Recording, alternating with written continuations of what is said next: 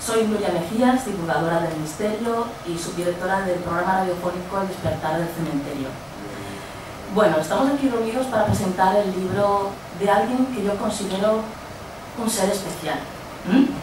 Eh, es una persona que siempre creyó en la magia, que siempre fue consciente de que la magia nos rodea y además em, ha sido capaz de utilizarla para conseguir las metas que se ha propuesto. El libro se titula La magia de lo real. Está editado por Ediciones eh, Carena y su escritor es Eduardo Ludueña. Pero vamos a conocer un poquito más a Eduardo y que mejor que, bueno, conociendo parte de su extensa trayectoria profesional, ¿no? Eh, esto me vais a permitir que lo lea porque, vamos, es una retaíla muy, muy grande lo que ha obtenido este chico. A ver, ha obtenido Eduardo Lubeña ocho títulos mundiales de Kung Fu, tres medallas de oro en las Olimpiadas Mundiales de las Artes Marciales en 2012, es varias veces campeón de España de Kung Fu, salió victorioso de su reto en el Campeonato del Mundo de Kung Fu de 2007 en Portugal, al pelear en peso súper pesado, luchando y venciendo a luchadores que doblaban su peso, obteniendo así el subcampeonato del mundo. Tiene el KO más rápido en el Mundial de Kung Fu de 2005. Es la persona que más flexiones con un dedo, el índice, en 30 segundos hace, eh, exactamente 46 flexiones, ahí, ahí es poco, vamos. Eh, soporta el empuje de 40 personas, es la única persona en el mundo en romper ladrillos con la punta del dedo índice, además es capaz de hacer el pino con un solo dedo, y bueno, una de sus últimas proezas fue luchar en el combate final de las Olimpiadas Mundiales de las Artes Marciales con los ojos y oídos vendados, para demostrar que el poder de la mente y del espíritu es infinito. Además, ganó este combate en pocos segundos. Ah, una pequeña anécdota es que puede levantar un hombre con solo dos dedos y de esta manera, pues, eh, tirarlo por los aires. O sea, ¿Lo, podemos probar luego? Para que lo veáis. Ahí es nada. Bueno, yo quiero decirte que me siento muy segura a tu lado. eso, que lo sepas, ¿vale? Eh, bueno, hay que añadir a todo esto que, que ya os he contado otro logro, otro sueño cumplido o casi cumplido de Eduardo, ya que es eh, un futuro astronauta de la SXC, Space Expedition Corporation. Es el primer astronauta civil español seleccionado para viajar al espacio, elegido nada más y nada menos por Buzz Aldrin, que para quien no sepa quién es, es un astronauta de la NASA retirado y fue la segunda persona en pisar la Luna en la mm, legendaria misión Apolo 11. Y bueno, después de un proceso eh, en el que se presentaron más de un millón de personas en todo el mundo, y después de superar Mm, pruebas muy duras, bueno, pues Eduardo ha sido uno de los seleccionados. Además es diplomado en, trabajo social por la Universidad de Castilla-La Mancha, es auxiliar de psiquiatría, acupuntor y bueno, da clases privadas, colectivas, es maestro en Tai Chi también, eh, control mental, técnicas de relajación. La verdad es que no entiendo cómo le da tiempo a todo esto, pero bueno. como veis es un espíritu muy inquieto. Acaba además de escribir pues, este libro, La magia de lo real. Y es un libro que además se está traduciendo al inglés, al francés y al chino mandarín. Esto tendrá que explicar, creo yo. Eh, la magia de lo real es un libro donde Eduardo nos quiere enseñar cómo enfocar la mente para lograr que lo imposible sea posible y además real. Al final de la presentación eh, va a firmar los ejemplares que queráis. Tenemos que deciros que fuera, nada más saliendo a la mano izquierda, se pueden comprar los libros, en una caja con alguien para que pueda venderos el libro.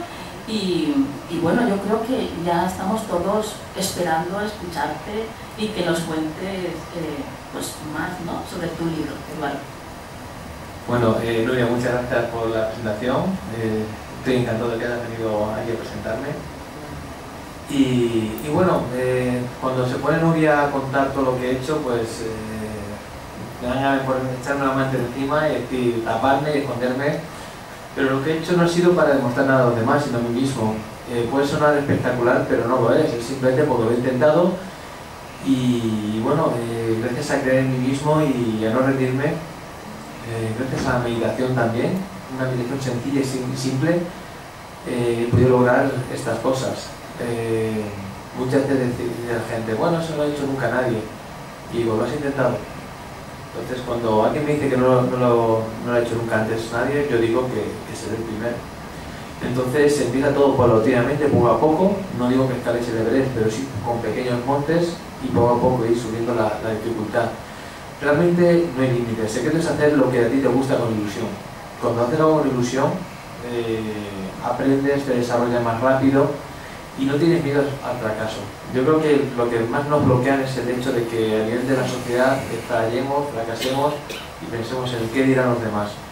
O sea, el libro es súper sencillo, súper simple y didáctico, en el sentido, de que me dice la gente, bueno, si una técnica más compleja, más complicada, ¿no? Es que así de sencillo, enfocando pensamientos, un sistema de respiración muy completo, un sistema de respiración abdominal, en el cual cuando yo hincho el abdomen, baja el diafragma y entra el triple de oxígeno. Entra el triple de oxígeno, eh, mejor mis músculos, mis huesos, eh, mis órganos internos e incluso mi cerebro, con lo que mantengo la calma y puedo superar mejor las situaciones estresantes.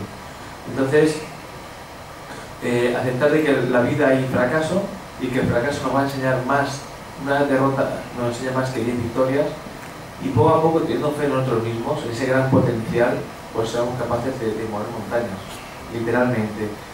Eh, eh, yo por situaciones de la vida me han empujado a, llegar más y más lejos. Muchas veces aquella persona que lo tiene fácil, eh, en el momento que tiene cualquier dificultad, se hunde la vida. Pero si lo tenemos difícil, en vez de hundirnos y sentirnos, lamentarnos nuestro destino, verlo como una oportunidad para ser fuerte, para crecer. Y al final cuando vengan las dificultades, veremos que no nos tumba, que somos capaces de vivir y de encontrar lo que todos buscamos no ser el campeón del mundo, no es ir al espacio, lo que todos buscamos es ser feliz. Entonces yo empecé, por ejemplo, eh, mi maestro me limitaba mucho diciendo que no era capaz de una cosa u otra, y dije, pues lo voy a hacer. Poco a poco, por ejemplo, doblar una lanza con la, con la tráquea. Pues lo hacían los, maestros chinos, hacer tiro con un dedo, visiones con un dedo, y al final me di cuenta, que mi maestro me decía que no era capaz, que no sería capaz nunca, ya que él no podía, pues tratar de, inculcar esos límites a, mí. Y yo como soy un cabeza, pues no, lo, lo acabé haciendo. Entonces meditando y trabajando físicamente poquito a poquito, porque yo no lo hacía todos los días seis, horas, me daba mucho, pero dedicado a fortalecer los dedos o la tráquea, pues nada, un ratito, visualizar el trabajo físico y visualizando. Y sin dudarlo, yo creo que la duda es lo que nos, nos mata. Entonces, poco a poco y con paciencia, en pocos meses era capaz de hacerlo. Entonces eh, me di cuenta de que por qué no ir más allá. Entonces empecé a hacer cosas como por ejemplo para romper ladrillo con un dedo, empecé eh, rompiendo un ladrillo, después de hormigón que mantengo con todos los dedos, fortaleciéndolo. Ahí fui reduciendo los dedos hasta que fui capaz de hacerlo con un solo dedo con el ladrillo. Eh, al fortalecer tu cuerpo, digamos que no te hace daño cuando fallas. Entonces, no rompo porque he endurecido mi dedo, mi dedo es igual de blando. Lo que pasa es que al no sentir daño, el miedo, eh, quito el miedo que me bloquea, porque si voy pensando que voy a hacer daño, aunque voy a fracasar, pues no lo rompo. Cuando eliminas la duda y después de haberlo trabajado poco a poco y paulatinamente, ves que eres capaz de hacer proezas como esa. Te vayas, no metes la cabeza como si capaz de romper la vida con un dedo, pero que sé que al vaciar mi mente y enfocarlo, lo logramos. El problema es que muchos maestros nos meten demasiadas eh, directrices, demasiados eh, problemas dicen tienes que hacer de tal manera, tienes que hacer un montón de cosas, de ejercicios, y no nos damos cuenta que simplemente con el hecho de respirar, vaciarnos, sacamos el potencial que todos tenemos. El potencial que nos han, eh, digamos, tratado de eliminar desde que estamos en la escuela. Estamos en el colegio y solo usamos el hemisferio izquierdo del cerebro, el lógico. Pero lo emocional le tenemos atrofiado. Cuando si en el colegio aprendíamos a meditar, a respirar, a controlar nuestras emociones, veríamos que había menos enfermedad, menos fracaso escolar, ya que nos concentraríamos mejor, menos eh, violencia, más creatividad, porque al final lo que nos ayuda a evolucionar al ser humano es la creatividad, la imaginación. Aprender lo que ya se sabe, eso es lo fácil. Y donde no se sabe, encontrar la cura del cáncer, eh, un motor que nos lleve a Marte en 10 días, es lo, complicado, lo bonito. Entonces yo sé, por lo que estoy viendo en primera persona, con el tema de la, del espacio, que tenemos un potencial brutal. Sé la ciencia, la tecnología que se está moviendo y que ojalá que dentro de aquí a pocas décadas, 10 años, 15 años, el viaje al espacio sea algo sencillo, algo cotidiano, algo normal.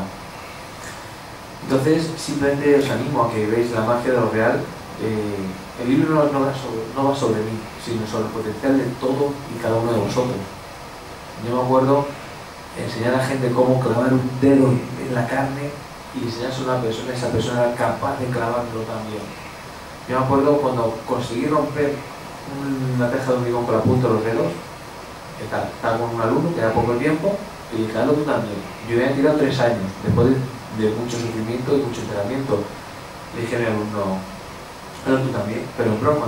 Él se creyó que lo hice en serio, se colocó en la teja, pum, y la rompió yo me quedé con la boca abierta. ¿Cómo lo he hecho? Sin entrenamiento, sin preparación.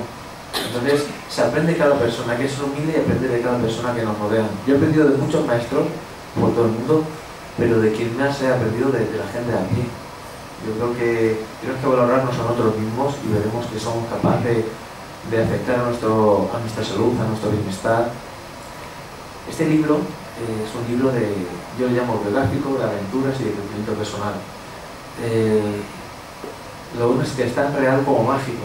Cuento como, después de perderlo todo, perder mi trabajo de manera injusta por el típico movie de gente mala, después de tener una enfermedad que casi me mata y me, apartó de la competición, una neumonía que se dio tarde, me dijo al médico que si sobrevivía, me iba a volver a ser el mismo, iba a afectar a mis pulmones.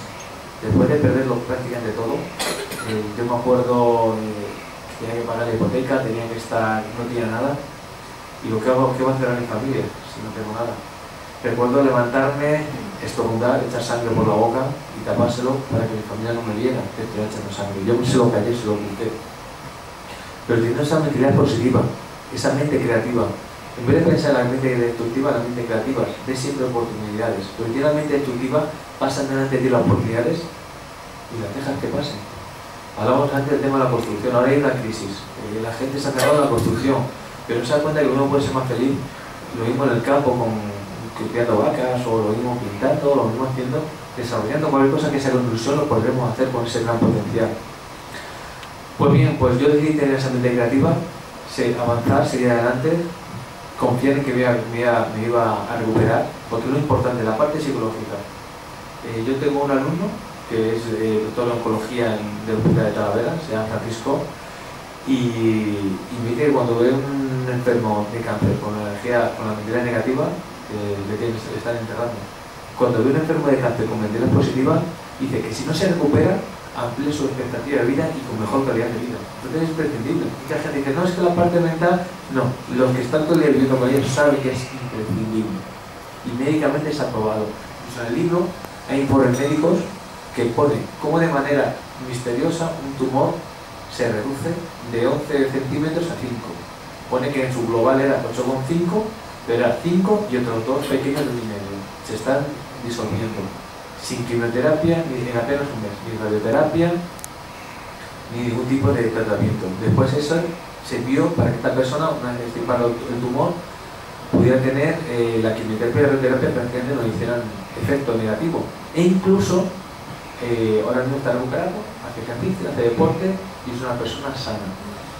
Entonces, eh, como comentaba, yo decidí tener esa mentalidad, me recuperé de la enfermedad y aunque cuando me dijeron que no ser capaz, volví a competir. Eh, creé mi propia escuela de artes marciales y, tener, y dije, ¿dónde debe estar? El trabajo donde me han echado, porque podía haber reclamado y haber conseguido mi trabajo, pero para estar con gente antipática, mala, que tengo esa mala energía, ¿para qué voy a estar? ¿Para no ser feliz? ¿Nada ni no ser feliz? pues ahora estoy haciendo lo que me hace feliz. Estoy haciendo, em, estoy haciendo eh, mis clases de Kung Fu, compitiendo por todo el mundo, conociendo grandes maestros. He recuperado mi salud, eh, mi ilusión.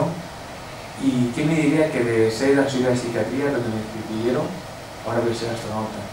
Superé, para poder mi, eh, que mi escuela tirara para adelante, tirara con mi familia, como el arte marcial no tenía gran repercusión, opté por vendarme los ojos en un campeonato.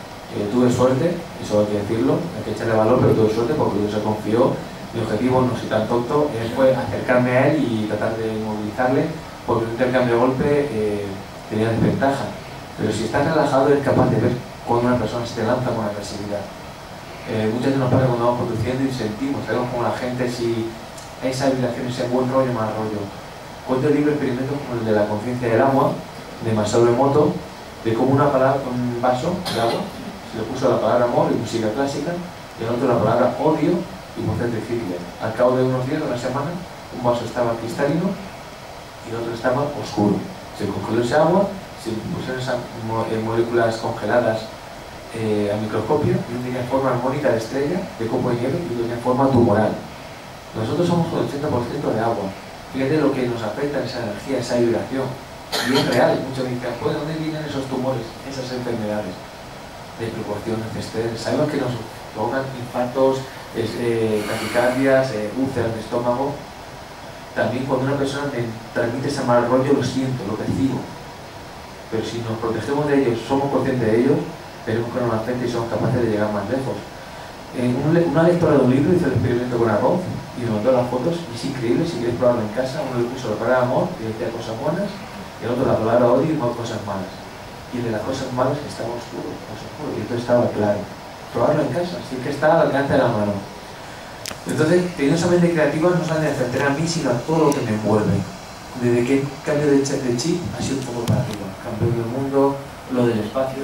Incluso a nivel físico me enfrenté hay un documental que se llama Generation Astronaut, Generación Astronauta, que salgo y cuento un poco mi aventura espacial y cómo superé, estar hablando de un filipino, que es Chino Roque, que es campeón de fisiculturismo, TRX, un montón de, técnicas, y yo solo como manteniendo la calma y ese estado mental tranquilo, pues fui capaz de, superar, sin ser tan fuerte físicamente, esa dificultad. Y el otro se había con cámara de, sale el documental, con una máscara de, de, ¿cómo se llama? de apnea, eh, levantando pesas brutales, haciendo ejercicio, era mucho más fuerte que yo, pero yo siempre enfocando en mi diciendo tranquilo que superé.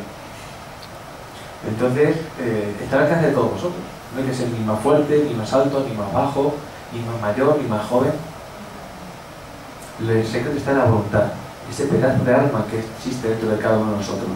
Si la avivamos esa llama, son capaces de, lograr lo imposible.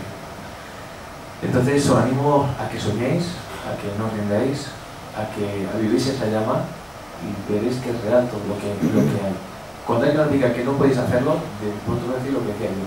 Yo soy el primero en hacerlo entonces. Curioso como mis alumnos, que ya menos tiempo que yo, están haciendo cosas que yo, soy, yo era incapaz de hacer o con, con el tiempo que llevaban. Aprendo mucho más rápido y quiero que ellos lleguen más lejos de lo que llevaba yo. Ahora si queréis, cuando acabe, os puedo enseñar cómo flexionar con un dedo, o cómo poder andar con un solo dedo, con dos dedos, o, cualquier cosa. Realmente es algo sencillo y, bueno. entonces, agradecer que hayáis venido y, bueno, lo que iba comentando, quiero decir un poco en plan primicia. Gracias a esa mentalidad estoy a puntito de presentar un programa para la televisión española. Crucemos los dedos, la semana que viene tengo la reunión y espero que os acordéis de esta charla por si sale este programa de televisión española que digáis, pues mira, estuve aquí en primicia cuando él dijo que iba a hacer un programa para televisión española. Entonces, eh, quiero que os convirtáis en magos de real.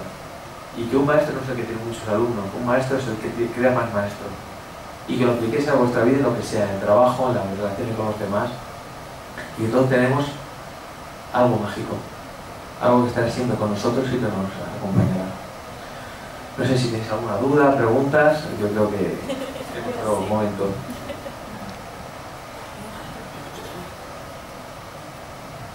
Eduardo, encantada de conocerte. Eh, he leído el libro, hace cinco días lo compré, me lo he leído rapidísimo, pero lo he querido degustar cada día. eh, una fácil lectura. Dos cosas importantes para mí del libro. Me ha ayudado a eliminar determinados miedos. Ha sido el impulso que, me, ha dado para eliminar determinados miedos, no todos determinados. Luego, este, ah, déjame ver qué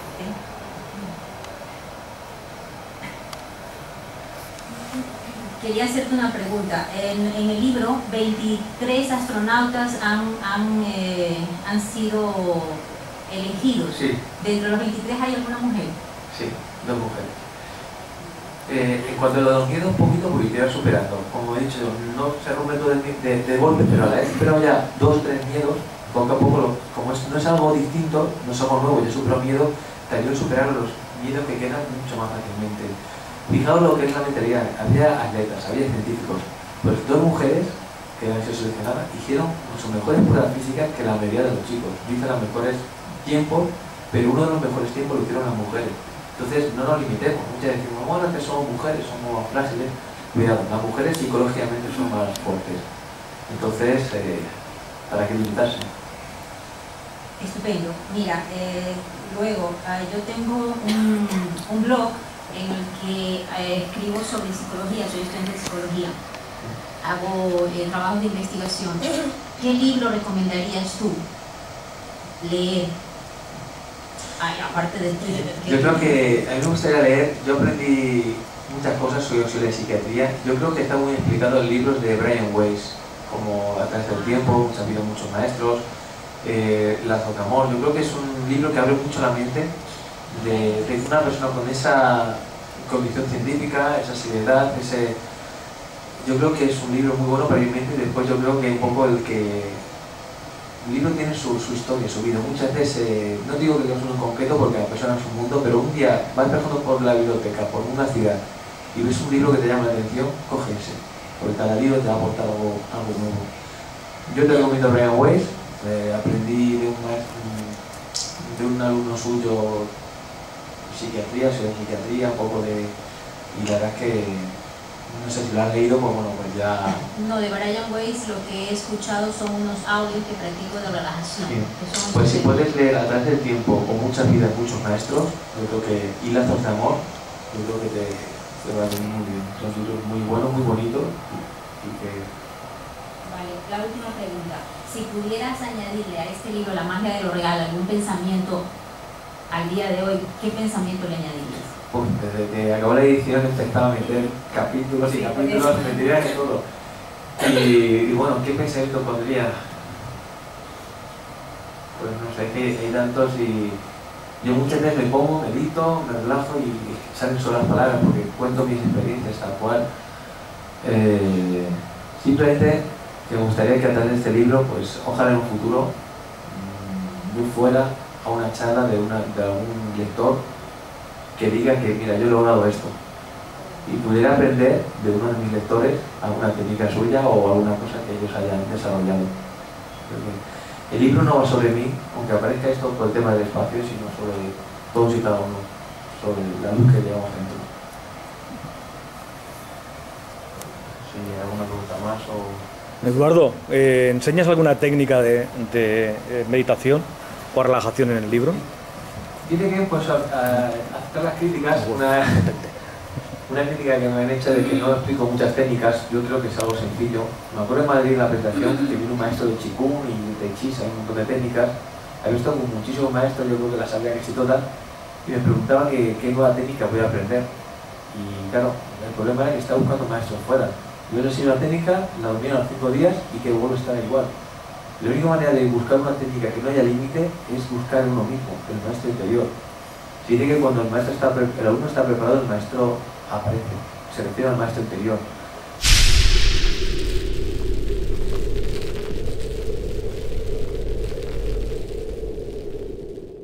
Respiro. Cuando bajo, suelto. Me da igual que coja, que aguante, mientras que mi respiración sea abdominal, lo soportaré mejor. Vamos a hacer una última prueba. ¿Quién se anima? Un último voluntario. La última prueba que se No. bueno, simplemente. A ver, ¿qué tal? Coge. Bien, como un pulso. Él para allá y yo para allá, ¿vale? No, no, tú con la mano, con la mano, con la mano, ya verás. Me va a romper el dedo. No, tranquilo. A ver, yo. Tranquilo. Cuando quieras. La cuestión no es que sea capaz de hacerlo con un dedo, sino con. No se usa fuerza, te concentras y. Si además quieres probarlo. Y eliminar el miedo. Si yo voy con miedo que va a romper el dedo, te enfocas, te concentras y eres capaz. Eh, son poquitos, pero una cosa que gusta hacer es subir dentro de poco un vídeo a internet si queréis verlo en mi blog de 10, 12 personas empujando. O sea, queréis empujarme. Nos ponemos, sí. Sí.